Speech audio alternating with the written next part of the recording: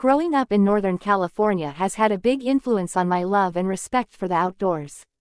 When I lived in Oakland, we would think nothing of driving to Half Moon Bay and Santa Cruz one day and then driving to the foothills of the Sierras the next day.